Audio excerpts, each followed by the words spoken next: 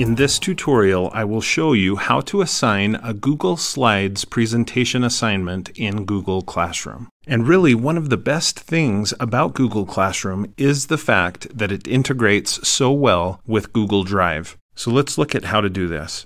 I'm going to go into my Spanish 2 course, and I'll go to the Classwork tab, and I'll click Create and choose Assignment. That opens up a blank assignment, and I can go in and give it a title something like Spanish speaking country reports. I'd like my students to choose a Spanish speaking country and do a presentation using Google Slides, create it, submit it, and then present it. I can type some instructions, create a Google Slides presentation based upon the included template. At this point, I can just click Create and then choose Slides. And here, I will soon be taken to Google Slides. Here I am and I could create a presentation for my students to watch. In this case, though, I don't want this to be a presentation that they watch. I want it to be a presentation that they customize and that they build and create themselves. So this will just be the template that they look at and that they build from in creating their own presentation. So I can name it, I can then click to add a subtitle, and of course I could continue to build this slideshow slide by slide until I'm done. And at some point, I should name it. Just by clicking in the box, it automatically named it based on my first line in the presentation. So that's perfect. At this point, I can just X out of it, pretending that it's actually done, which it's not. And that Google Slides presentation is now attached to this particular assignment. Even though it says Untitled Presentation, don't worry about that. The next time I log out and log back in, or even go to the course homepage and then come back into the assignment, the assignment name will be updated. Now that this presentation is attached to this assignment, notice these very important options here at the right. By default, the students will be able to view the file, so they'll be able to watch this presentation. In many cases, that's exactly what you'll want. Maybe before the students write an essay or a report, you want them to go through a presentation that you've created to review some things, and then they turn in the work. So in many cases, this will be perfect. But in this case, I want the students to be able to work on this presentation, to build it out with their own content and their own ideas. So I need to choose from one of these two options. I can make it so the students can edit the file themselves. If I choose this, any student that this assignment is assigned to will be able to work together on the same exact presentation and as a result, they may overwrite each other's work. In some cases, that's exactly what you want. You want students to collaborate on one shared Google Slides presentation. In this case, though, I want to make a copy for each student. Now, before I go on, I want to show you maybe an even better way of doing what I just did. I'm going to X out of this presentation so it's no longer attached to this assignment. Instead of creating the Google Slides presentation right here on the spot inside of my assignment builder, it's often better to create the presentation beforehand, maybe days beforehand or weeks or hours beforehand.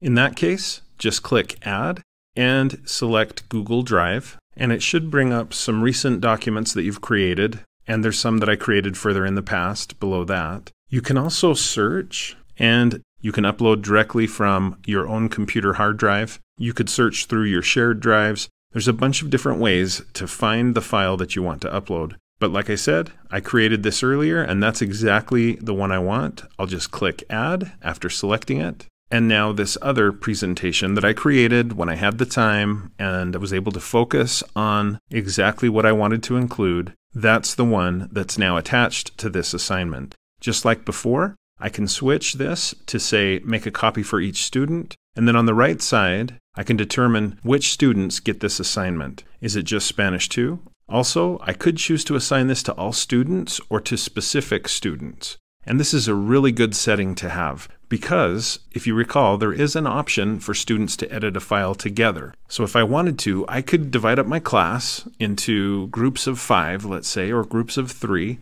and then I create an assignment for each of those small groups. And then I change the setting to students can edit file, and then I assign it specifically to the three or four or five students that are going to be working together on that specific slideshow. And I could uncheck all students and just select the specific students that are going to work on that. In this case, though, I'll just leave it at all students. I can set the number of points. I can put in a due date and also time if I would like to.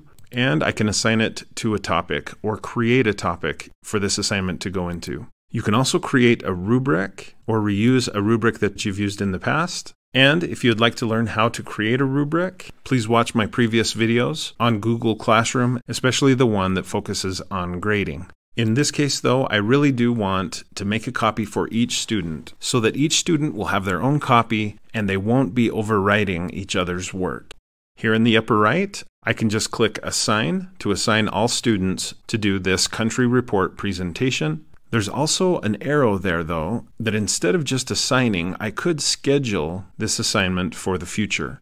I'm going to go ahead and click Assign and Assign again, and I want you to see what it looks like from the student's perspective. So this is a student account in the Spanish 2 class. As a student, I can sign into the course. In my stream, I can see that a new assignment has been given to me. I can also go to classwork to find it, and then I can just click and notice that I have my own personal copy of this slides presentation. It's got the student name on it, and it says Country Report Slides Template. I can click View Assignment to get into the assignment itself. To start working on the slideshow, I can just click here, and it takes me to my own copy of the template. At this point, as a student, I could type in the new title for my slideshow, put in my name. If I want to, I can choose a theme to make it look a little nicer. And I can work my way through this slideshow, deleting slides that I don't need just by right clicking, choosing delete, and so on. When the student is done creating the presentation, he or she can just X out of the presentation. If more work needs to be done later, you can just click back on the slideshow's name and it pulls you right back in with all your work saved. At this point, the student can make some comments and can just click turn in and turn in. And that slideshow now is submitted to the teacher. Back in the teacher account, I can click on the specific assignment to see that one person has turned it in. And I can just click on that to be taken directly to that person's submission. I can click on it to look at their presentation. I can leave comments for the students, either private comments that I could post, or you can also use this tool. This is a comment bank, and I just love this. I can type in, well done, excellent work, stupendous, and maybe some Spanish. That might be good. And click Add. And those comments aren't added directly to this presentation. Instead, they're listed here so that anytime I need a buenísimo, I can just go over here and click these three dots, choose Copy to Clipboard, and then I can go back and just paste it in as a private comment. I can assign a grade for this assignment, and then when I'm ready to send this back to the student, I can just click Return and Return. Let's now look again at the student account. As the student, when I go back to this assignment, I can see my score and the private comments that were given to me.